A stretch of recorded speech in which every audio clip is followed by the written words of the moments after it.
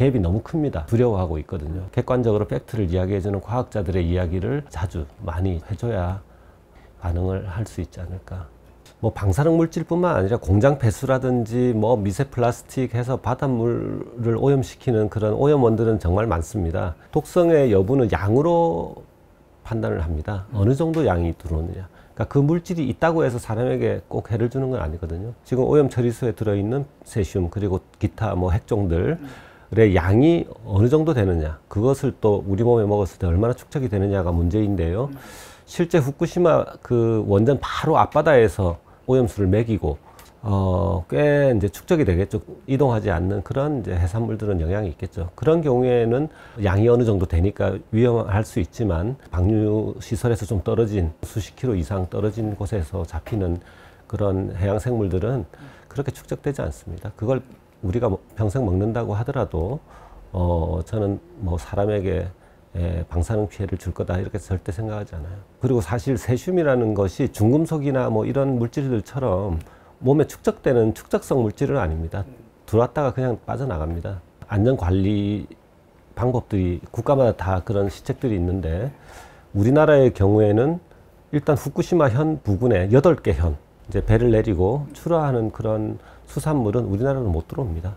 수입 금지입니다. 아예. 그러니까 우리나라로 들어오는 일본산은 후쿠오카 이런 이제 남쪽 그런 수산물이고요. 그것도 어, 기준치가 있습니다. 검사를 해서 어, 이제 지표 중에 방사능 물질이 많지만 그 중에 세슘이라는 그 지표 그 물질의 농도를 100베크렐로 정해놨습니다. 100베크렐 이상은 우리나라로 수입이 안 된다. 근데 이 100베크렐이라는 기준은 전 세계에서 유일하게 우리나라만 운영하는 어, 기준이에요. 엄격해요. 코덱스라는 국제 기준은 1000입니다. 그러니까 국제 기준보다 10배가 낮고요.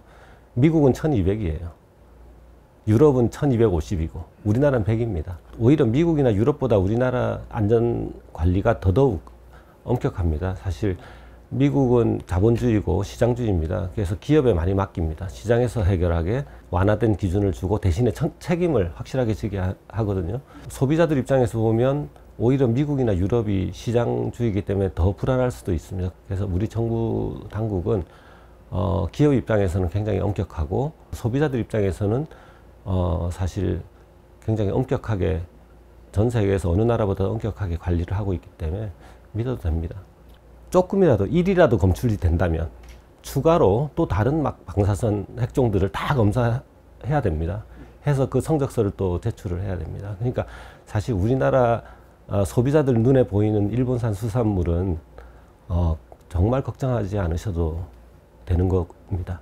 요번에 150만 톤이 이제 일본에서 어, 방류를 할 건데 뭐 엄청난 양이죠. 근데 1,500 어, 이라는 그 기준을 지켜준다면 저는 뭐 전 세계 그 뭐 대양의 바닷물의 그 양이라든지 또 조류의 흐름 어, 우리나라의 경우에는 최고 인접국이지만 조류의 흐름상 가장 안전한 나라입니다. 가장 마지막에 돌아옵니다. 일본의 저쪽 태평양 쪽으로 빠져나가서 미국, 유럽을 통해서 다시 우리나라로 어, 마지막에 오기 때문에 4년 후에 또는 늦으면 10년 후에 이렇게 그때 옵니다. 거의 지금 현재의 농도에서 변화가 없다.